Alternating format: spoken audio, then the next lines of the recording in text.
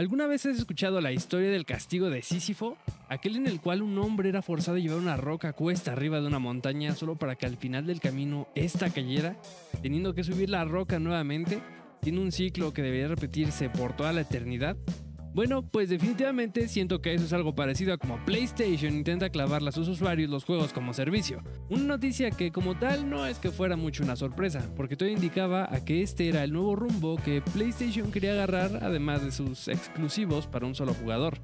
Y digo exclusivos entre comillas, que de manera personal no creo que este tipo de títulos tenga algo por el cual crucificarlos. Además, que cada compañía es libre de apostar por un juego de este estilo para intentar desahogar un poco el apartado económico de las megaproducciones. Pero solo uno de los grandes saca uno nuevo casi cada semana.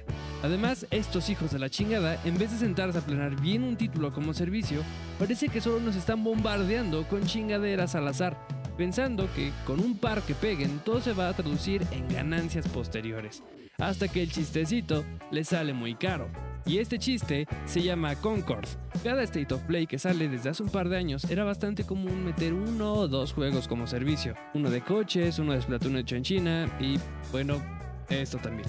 Creo que no está de más decir cómo le fue a cada uno de ellos durante su lanzamiento y cómo le está yendo al momento en el cual grabo este video. Que los estudios que los desarrollan no tienen toda la culpa de esto. Digo, hay alguien que los está mandando. Pero es que es más que obvio que Solamente buscan crear una gallina de huevos de oro, la cual PlayStation les salga rentable, ya que sus jugadores finalmente pasen de gastarse más de 500 dólares en una consola para ahora gastárselo en skins. Play quiere tener su propio Overwatch, su propio Fortnite, algo que pueda exprimir a futuro para solventar la pérdida de Call of Duty, imagino.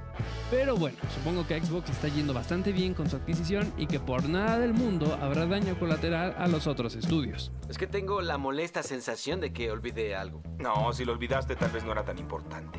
Sí, es cierto. Como sea, me gustaría pensar que PlayStation ya está comprendiendo que a pesar de las apariencias, los juegos como servicio no son la respuesta a todos los problemas.